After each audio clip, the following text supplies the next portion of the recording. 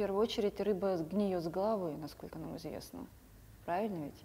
Скорее всего, нужно сделать что-то на уровне государственном для того, чтобы не происходило таких вещей.